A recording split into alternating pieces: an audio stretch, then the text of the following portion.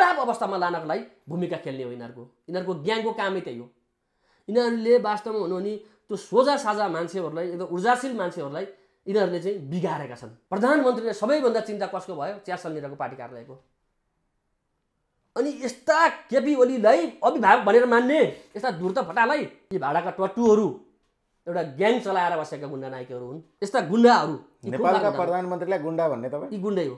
हरकत त्यही छ त। ऊ त एउटा पार्टीको एउटा पार्टीको सङ्गठनको एउटा त्यो मैले भन्ने एउटा त्यो गुन्डाहरू पालेको एउटा ग्याङको त्यो ग्याङको मुख्य गुन्डा हो नाइक गुन्डा नाइकी हो। मात्रै? मात्रै हो। देशको आएर त मान्छे जनता चाहिँ अप्ठ्यारो परेको ठाउँमा जानुपर्छ नि हेर्नलाई जनतालाई कहाँ दुःख पर्छ त्यहाँ जानुपर्छ नि त हेर्न त्यसलाई त त्यो पार्टी कार्यालयको आएर छ धेरै। विपद व्यवस्थापनकै नाउँमा। अर्बौँ लुटिएको छ है यो देश। विदेशमा थिए भएर संहिता त यहाँ थियो नि त। प्रधानमन्त्री आफैले काम गर्ने होइन। मुख हो आदेश दिने हो नि त यसो गर है भनेर भन्न त सकिन्छ नि त। अहिले जमाना यस्तो टेक्नोलोजी छ। त्यहीँबाट गरेर यसो यसो गर्नुहोस् है। तपाईँहरूले यो कुरामा ढिलाइ नगर्नुहोस् है। भन्दा भने त हुन्थ्यो नि त। सुन्नुहोस् जसरी बस चलाउने प्लेन चलाउनेलाई पाइलट भनिन्छ त्यसरी नै यिनीहरू भनेको एउटा सङ्गठन ग्याङ चलाउने गुन्डे। केपी ओली चार पचोटि प्रधानमन्त्री भएनन् अहिलेसम्म। यिनै शेरबहादुर पाँचचोटि प्रधानमन्त्री भएनन्। यिनै पुष्पकमल तिनचोटि प्रधानमन्त्री भएनन्। के परिवर्तन भयो त देश? खोलामा गएको छ डोजर लगाइदिएको छ ग्राभेल उठाएको छ त्यो पानीको बहाव त चेन्ज भयो नि त। यताबाट गइरहेको पानी यतापट्टि खाल्टो भएपछि पानीको बहाव यता बढ्यो मैले त के देख्छु भने यो देशको इन्जिनियर भने बाटोको हकमा।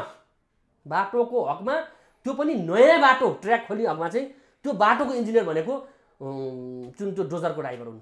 कोठामा बसेर नक्सा बनाएर इन्जिनियर हुन्छ यसो गर भनेर चित्र बनाएर। त्यो बाटो के छ त्यसको अवस्था कस्तो छ त्यसले कति चिज थेक्न सक्छ होइन? जुन यो जमिनको जुन गर्नुपर्ने अनुसन्धान अन्वेषण हुन्छ नि त्यो हुँदैन क्या। कति थर्केर बसेको हुन्छ त्यो थाहा छैन अनि बर्खामा मजाले पानी पर्छ। स्लोप भिरालो छ। कुन स्लोपमा कति खन्ने कसरी खन्ने त्यो त्यसलाई सेफ्टी कसरी दिने भन्ने छैन क्या? त्यो गाउँको सामान्य बाटोको कुरो छोडिदिनुहोस् क्या। तपाईँले मुगली नारघाट बाटो हेर्नुहोस् न यार।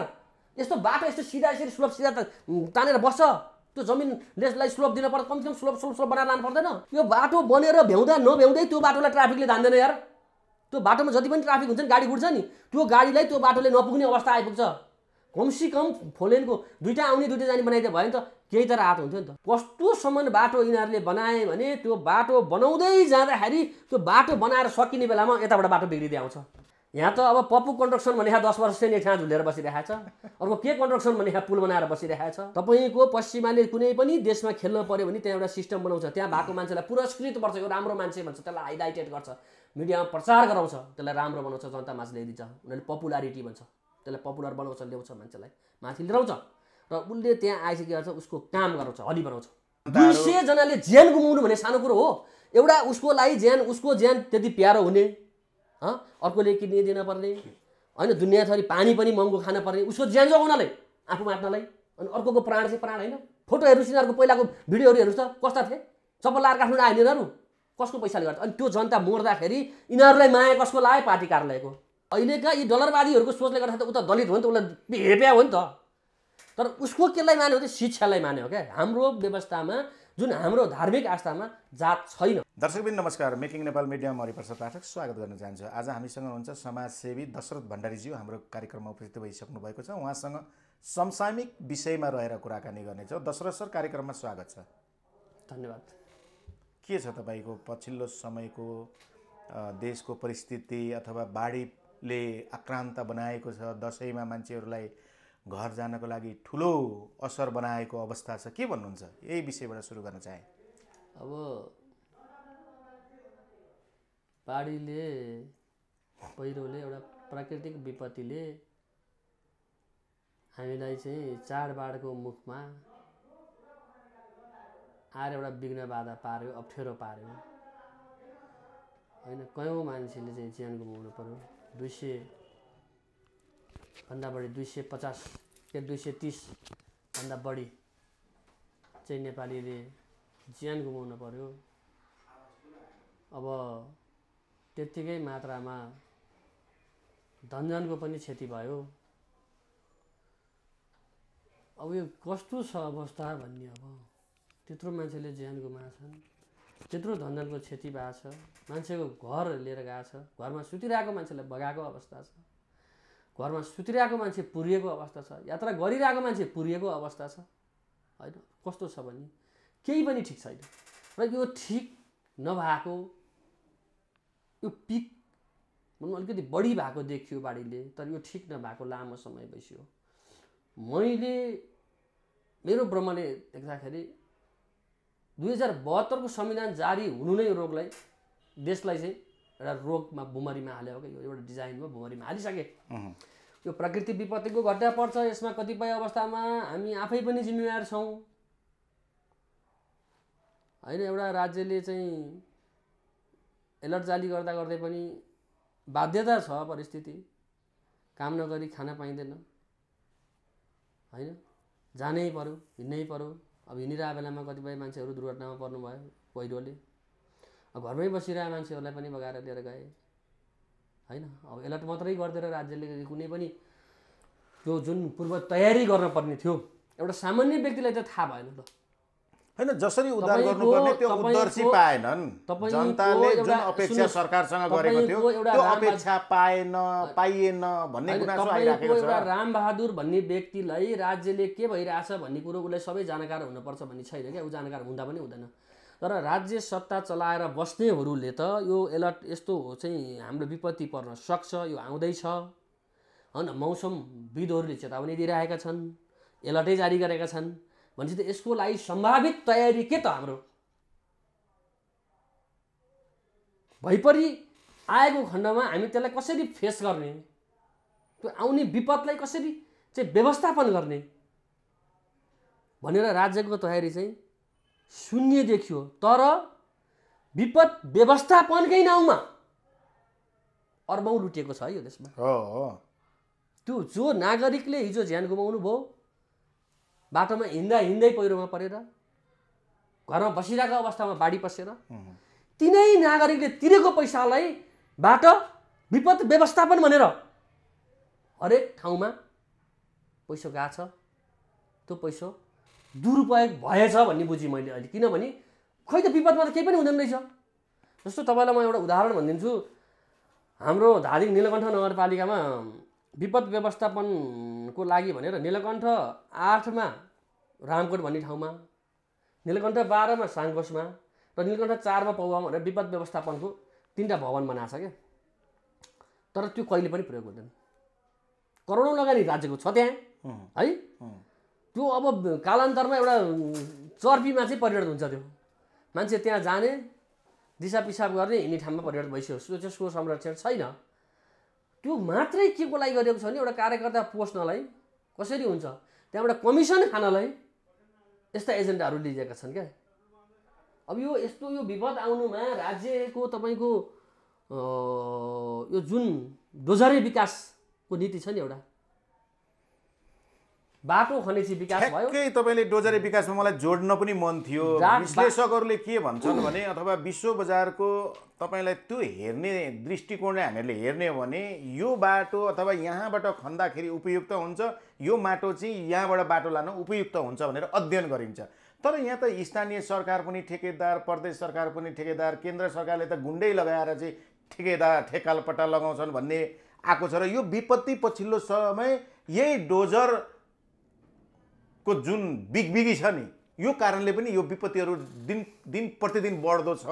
त्यो कारणले चाहिँ यसरी चाहिँ पहिरोहरू गइराखेका छन् भन्ने कुरो पनि आएको छ त्यसलाई पनि प्रमुख कारणहरू मध्येमा। सबै कुरो चाहिँ त्यही हो भन्ने नि भन्न मिल्दैन।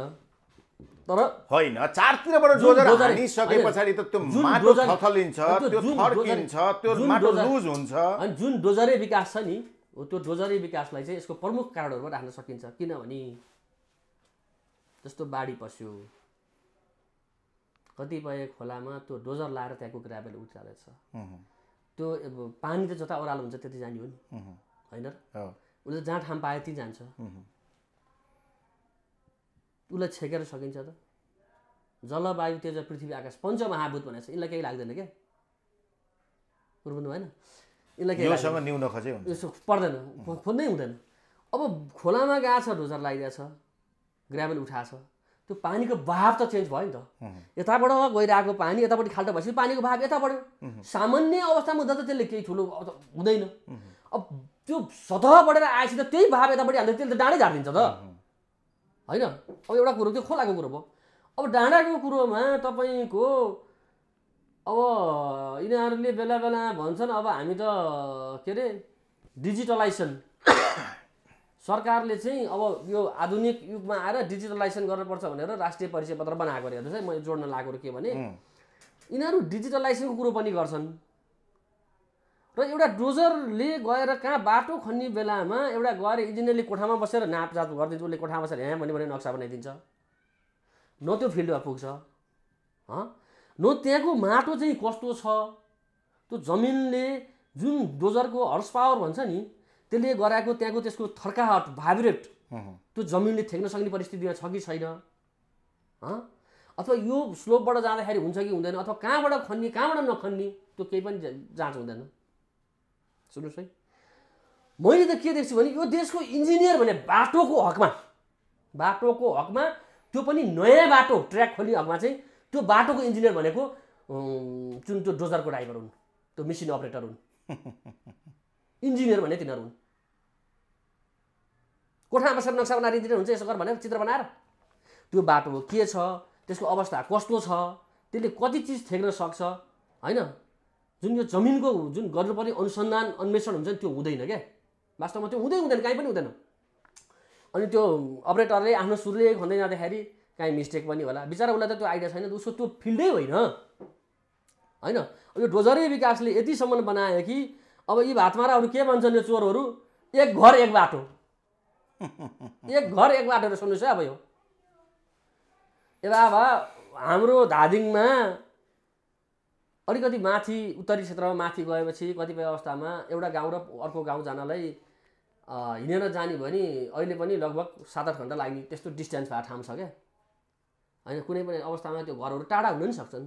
तपाईँको एउटा घरबाट अर्को घर जाँदाखेरि तिन घन्टा चार घन्टा लाग्ने बाटो पनि छन् होइन? अब त्यस्तो ठाउँमा एक घर एक बाटो भनेर हिँडेर हुन्छ।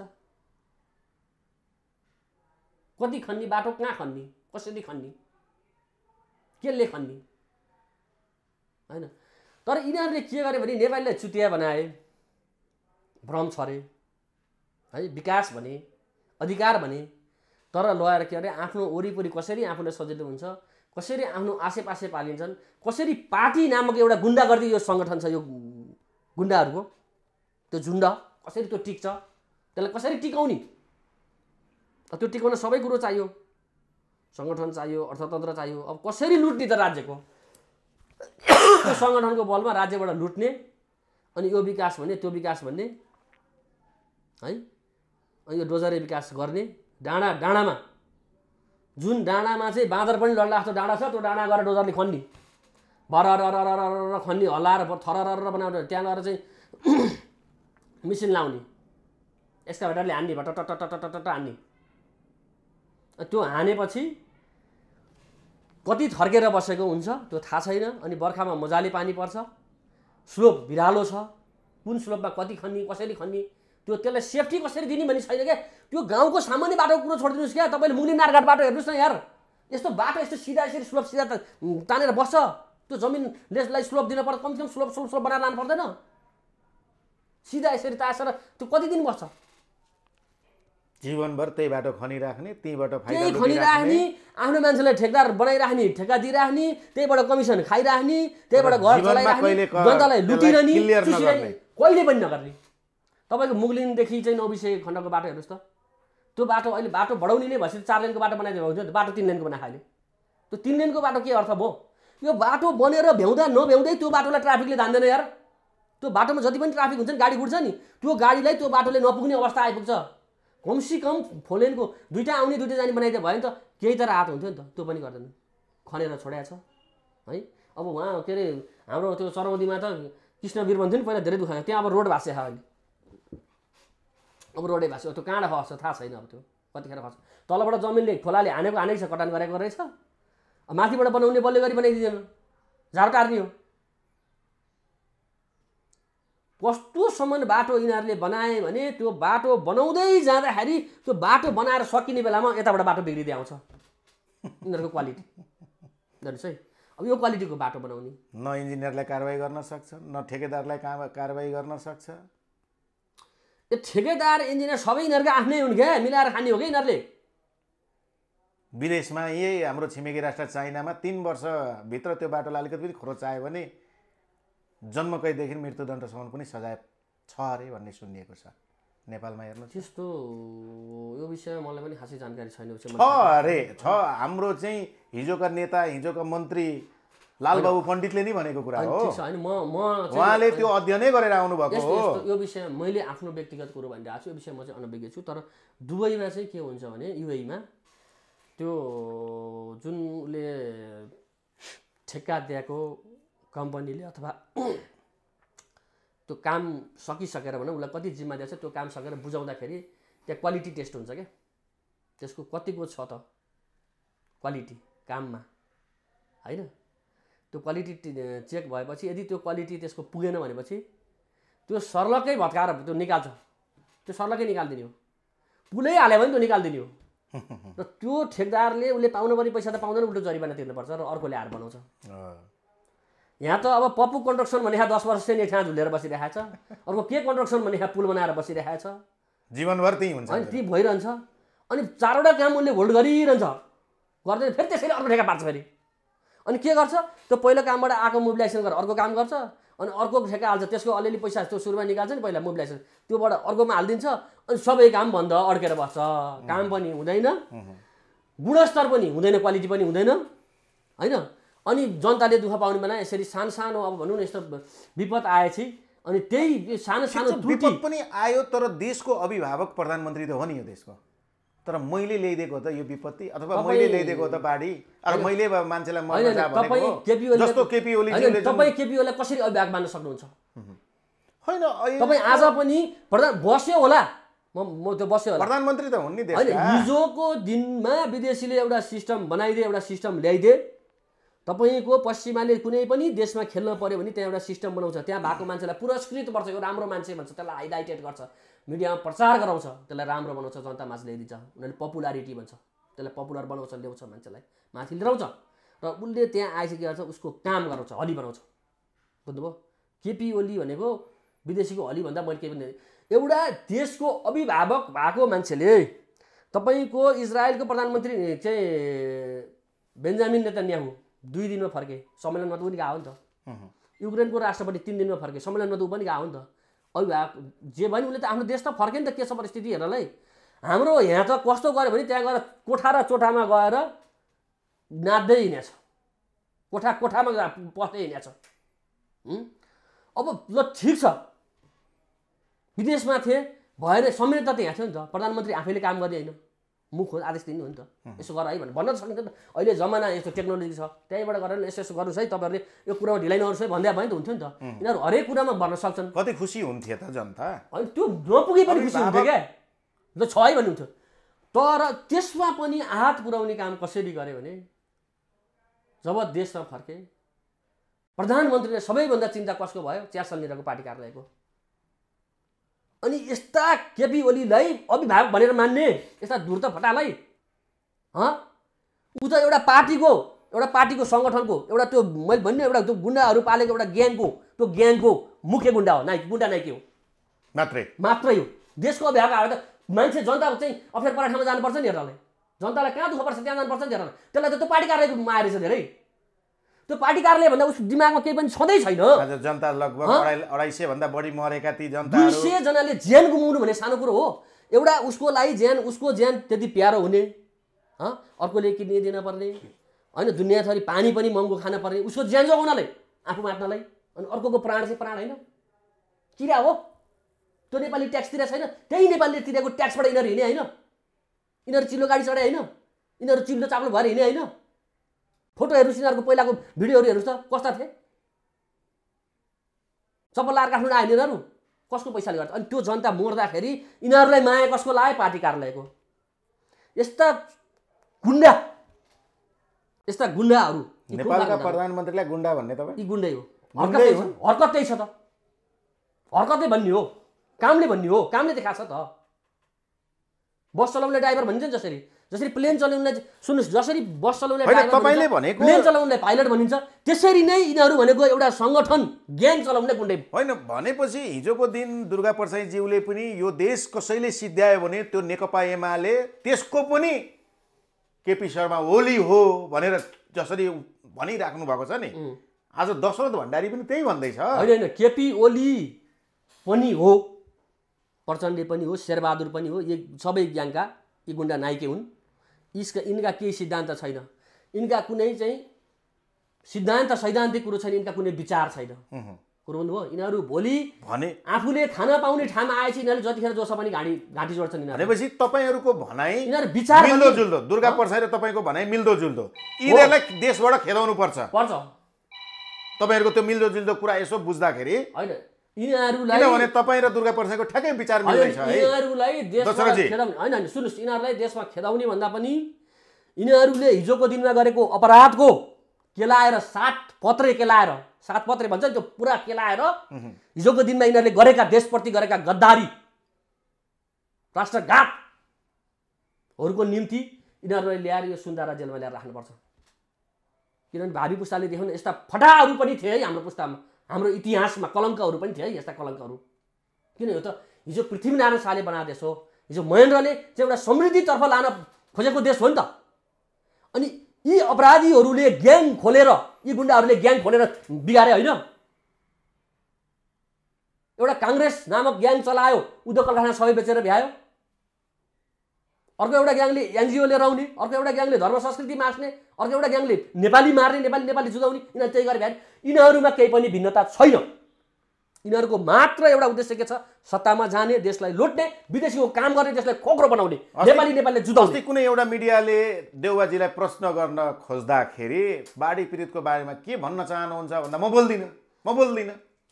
त्यस्तो खालको अभिव्यक्ति त्यहाँनिर त नेकपा एमालेका मान्छे पनि मरेका होलान् काङ्ग्रेसका पनि होलान् अथवा राप्रपाका पनि होलान् सद्भावनाका होलान् रासपाका होलान् त्यो भएन। तर एउटा पार्टीको सभापतिले त्यस्तो खालको अभिव्यक्ति म तपाईँ पार्टीको सभापति नभन्नुहोस् क्या।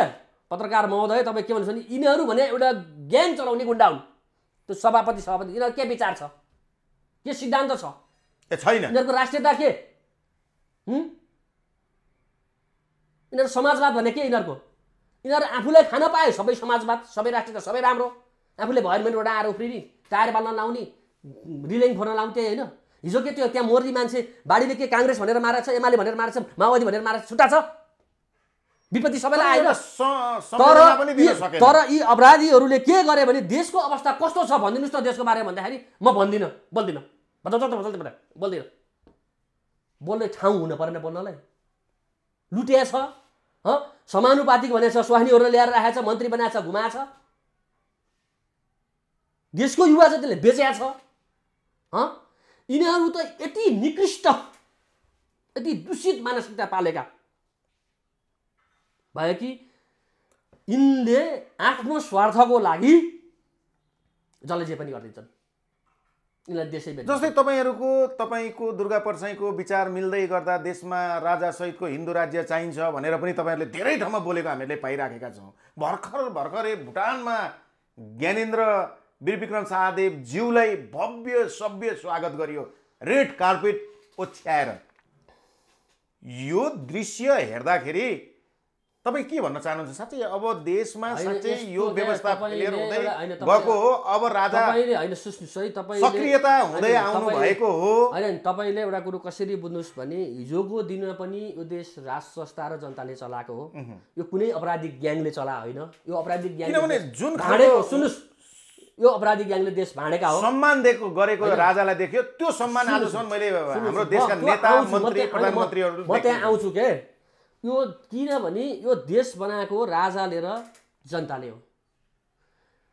यो देश भाँडेको यो राजनीतिक दलहरूले हो। यिनीहरूले मान्छेलाई विभिन्न खेमामा विभाजन गरे। एउटा दलीय सिन्डिकेट लगाए लादे। आज तपाईँ कुनै गाउँमा एउटा सामान्य मान्छे लिएर गयो भने त फलानु पार्टीको तेरो काम गरिदिनुहोस् भने हामीले भेट्न पायौँ। त्यस्तोसम्म देखियो। जनप्रतिनिधि किनभने ऊ पार्टीको प्रतिनिधि भएर बसेको छ। बुझ्नु भएन? ऊ जनताको होइन। र यिनीहरू यो चाहिँ कुरो कस्तो भने यिनीहरूले भने देश सिधाएको मात्रै हो। अब यो राजालाई स्वागत गर्ने कुरोमा के छ भने विदेशीले। विदेशीले हेर्ने नजरमा भनेको यी त्यो ग्याङका जुन नाइकेहरू छन् नि यी ग्याङका नाइकेहरू भनेको यिनीहरू हो क्या। यिनीहरू हली हो कसैले खटाएर राखेका हो। तपाईँले यसो टोलतिर देख्नुहुन्छ नि त्यो सानसानो कुरोमा झगडा गर्छन् नि सामान्य कुरोमा अन्डरस्ट्यान्डिङ नभएर। दुई चार पैसा लाइन झगडा गर्छन् खुकुरी हाना गर्छन् हो यिनीहरू भनेको अलिकति त्यो माथिल्लो लेभलको स्ट्यान्डर्ड लेभलको लेभल अलिक माथि भयो उनीहरूको म्यान पावर अलिक बढी छ होइन? होइन भने यिनीहरूको के विचार छ के सिद्धान्त छ? यिनीहरूले के अभिभावकत्व गरे देशलाई? यदि त्यो गरेको भए त यिनै केपी ओली चार पचोटि प्रधानमन्त्री भएनन् अहिलेसम्म। यिनै शेरबहादुर पाँचचोटि प्रधानमन्त्री भएनन्। यिनै पुष्पकमल तिनचोटि प्रधानमन्त्री भएनन्। के परिवर्तन भयो त देश? किन भएन त परिवर्तन? भने यिनीहरूले यो देशको यो अवस्था दुरावस्थामा लानलाई अत्यन्तै खराब अवस्थामा लानको लागि भूमिका खेल्ने हो यिनीहरूको। यिनीहरूको ग्याङको कामै त्यही हो। यिनीहरूले वास्तवमा हुनु भने त्यो सोझा साझा मान्छेहरूलाई एकदम ऊर्जाशील मान्छेहरूलाई यिनीहरूले चाहिँ बिगारेका छन्। एउटा पार्टीको ल त सदस्य त अध्यक्ष त सचिव त फलानु भनेको छ अनि उसो आफ्नो काममा लाछ। के कुरो तपाईँले बुझ्नुहोस् भने एमालेको एउटा वडादेखिको एउटा सदस्यले क्रियाशील सदस्यदेखिले काम गर्छ भने त्यसको उद्देश्य के हुन्छ नि केपी ओलीलाई प्रधानमन्त्री बनाउनु। माओवादीको एउटा वडादेखिको सदस्यले काम गर्छ भने त्यसको उद्देश्य के हुन्छ? प्रचण्डलाई प्रधानमन्त्री बनाउनु।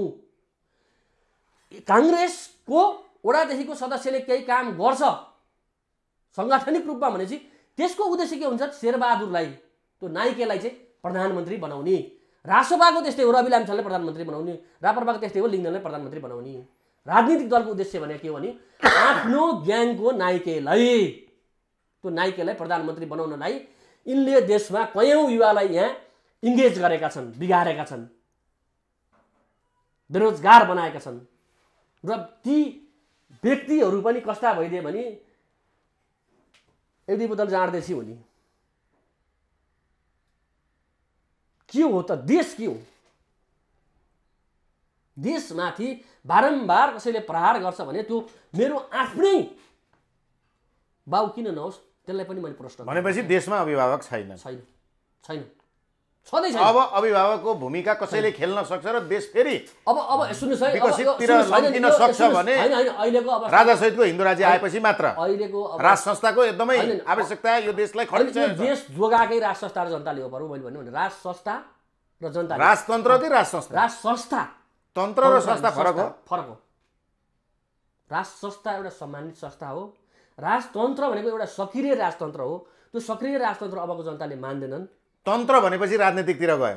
तन्त्र भनेपछि राजनीतितिर गयो। त्यसैले राज संस्था हुनुपर्छ। राज संस्था सम्मानित तरिकाले र राज संस्थामा यो देशको परराष्ट्र नीति र राष्ट्रिय सुरक्षा नीति चाहिँ त्यहाँनिर निहित हुनुपर्छ। किनभने हिजो जसको पिता पुर्खाहरूले देश बनाए तिनले देशलाई घात गर्दैनन् त्यो देश बेच्दैनन् क्या तिनलाई माया हुन्छ।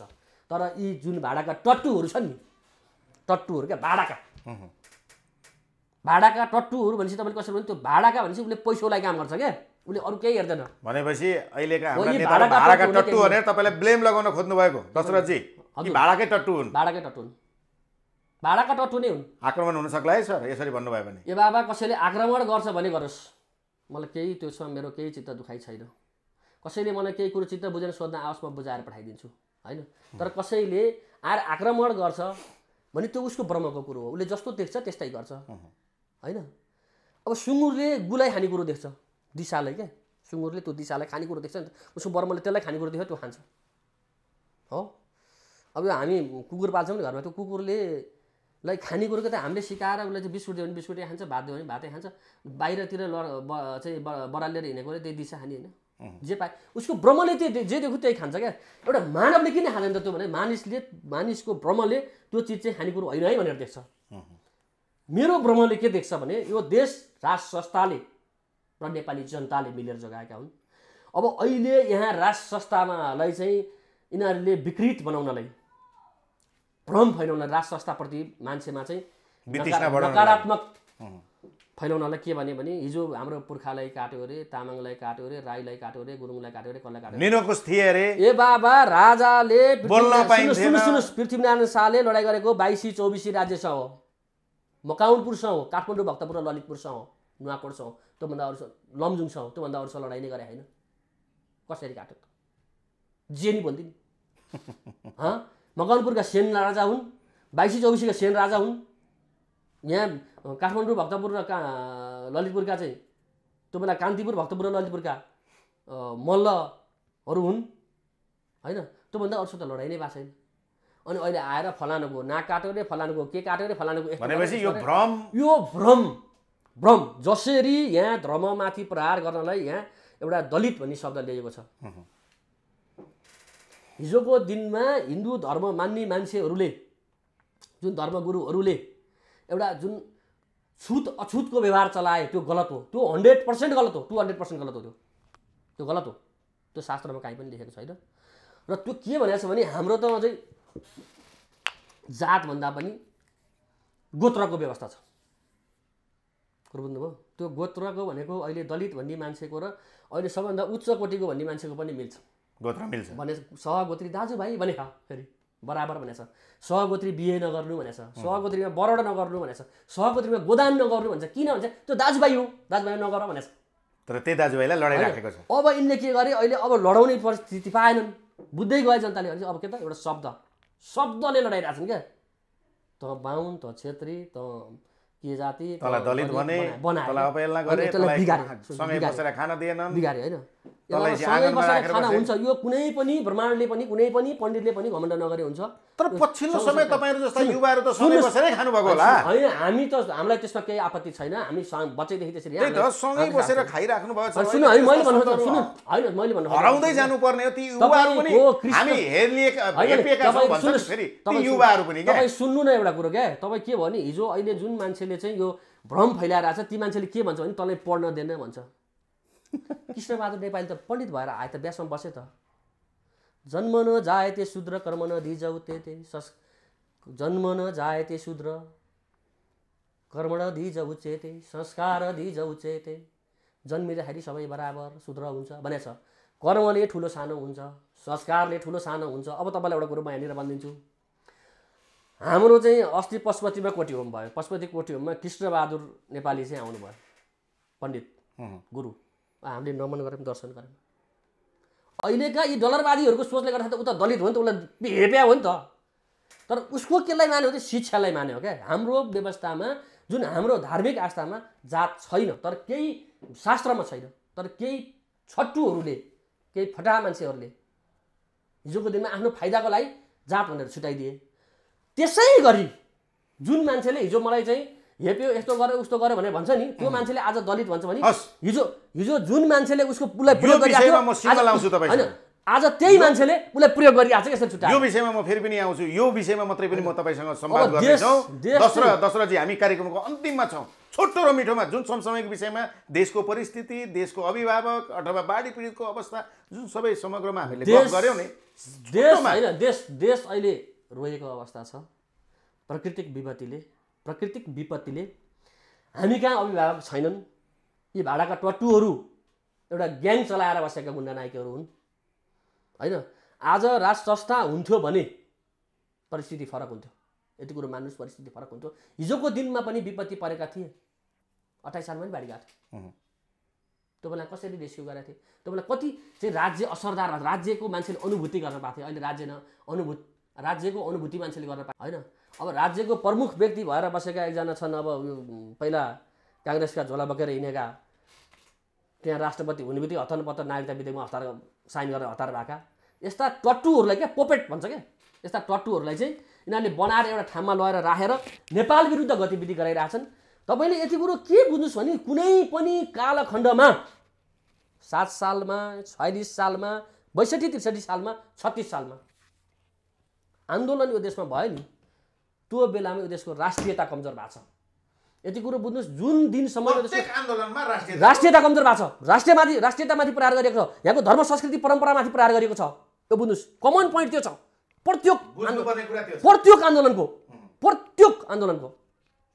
प्रत्येक आन्दोलनले यो देशको राष्ट्रियतालाई कमजोर बनाएको छ यो देशको धर्म संस्कृति र परम्परालाई कमजोर बनाएको छ। त्यस कारणले अब जति हुनुभयो जति हुनुभयो सिद्धियो। अब म सम्पूर्ण नेपालीले के आग्रह गर्न चाहन्छु नि? पहिला हामी नेपाली बनौँ हामी नेपाली बनौँ हामी नेपाली हो हामी नेपाली बनौँ हामी कुनै दलका झोले होइन हामी नेपाली बनौँ हामी कुनै ज्ञानका सदस्य होइन हामी नेपाली बनौँ हामी जुनसुकै धर्म माने पनि हामी नेपाली बनौँ तराई पहाड हिमाल हामी जहाँको भयो भने नेपाली बनौँ यो देशलाई आज राष्ट्रिय एकताको आवश्यकता छ। र यो चाहिँ अहिले भएका राजनीतिक दल भन्छ नि जुन यो गुन्डाका ग्याङहरूले यो ग्याङहरूले हुन दिँदैनन्। सम्पूर्ण नेपालीले आजको दिनबाट राष्ट्रिय एकता बलियो बनाउन लागौँ। त्यसमै हाम्रो भविष्य छ देशको भविष्य छ तपाईँ हाम्रो सबैको भविष्य छ। धन्यवाद।